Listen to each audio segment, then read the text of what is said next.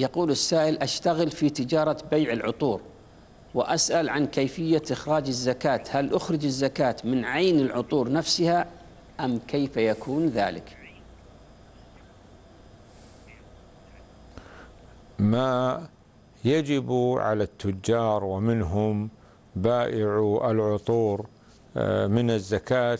مشمول بالنصوص التي جاءت بإيجاب الزكاة من مثل قوله تعالى يا أيها الذين آمنوا أنفقوا من طيبات ما كسبتم والتاجر في العطور أو في غيرها يشاهد آه، ثلاثة أنواع من الأموال تجب الزكاة فيها.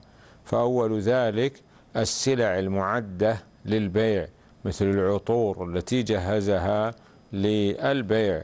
والثاني المبالغ النقدية الموجودة عند صاحب هذه التجارة سواء دار عليها الحول أو لم يدر لأن حول زكاة التجارة هو حول أصلها من آه، النقود.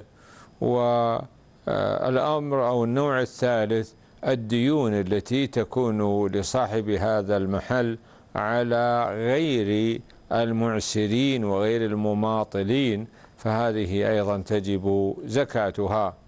وإخراج الزكاة فيما أعد للبيع يكون بمعرفة قيمتها في السوق ثم إخراج ربع العشر من آه، آه، قيمتها بإخراج ربع العشر من قيمتها يعني بمقدار اثنين ونصف في المئة.